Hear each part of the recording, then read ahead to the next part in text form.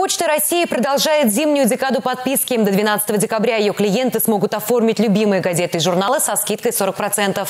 Несмотря на развитие информационных технологий, почтовая связь не теряет актуальности. Особенно на селе. Наша съемочная группа побывала в Маргаушском районе.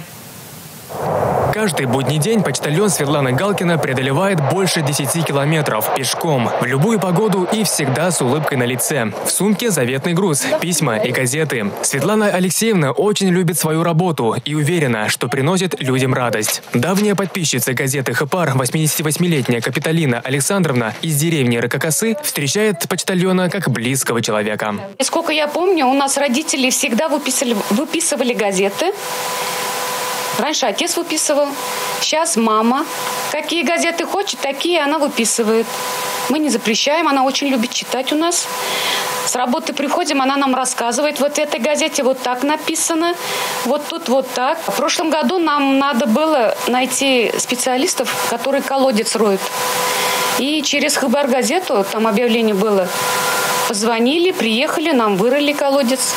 Обойти три населенных пункта. Работа у сельского почтальона непростая. Говорит, такие ежедневные физические нагрузки в ее 64 года помогают оставаться в хорошей спортивной форме. Работаю с тех пор, как вот мама умерла дома, не захотелось одной дома сидеть.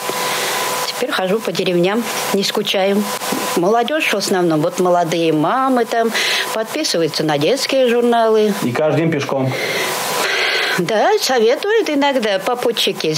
Чего скутер не купите? Почему не на лыжах? Всякое там бывает. Ну, пешком, как, как говорится, как начальник у нас смеется.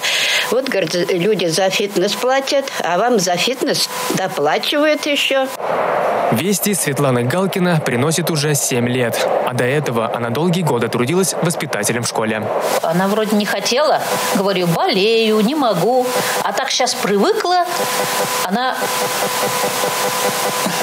со здоровьем лучше у нее.